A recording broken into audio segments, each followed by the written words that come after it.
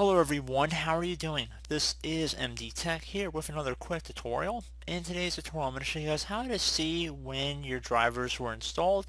So it should be a pretty straightforward process here and without further ado let's go ahead and jump right into it. So we're going to go ahead and start by opening up Device Manager. So go ahead and just left click on the start button one time. Type in Device Manager into the start menu search. Select Device Manager from the list So now at this point, go ahead and select whatever drive you want to find out your information for. So I'm just going to select network adapter here, and I'm going to select properties. So just right click on it, select properties. Go ahead and left click on the details tab. And now you want to go underneath property. You want to click inside this drop down box. Select install date.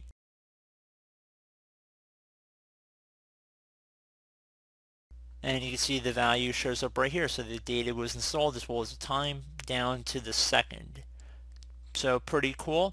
You can click inside the drop down again. Please note if you scroll up here there's an INF section as well as an included section.